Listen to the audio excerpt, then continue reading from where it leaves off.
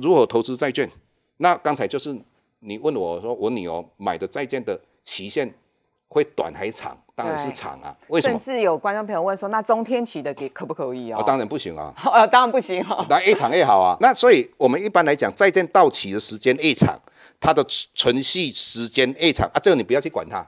那我刚才讲到啊，你看哦，当启动升息的时候，长期债券跌幅会大于短期债券。我们希望哦，长期的跌深一点。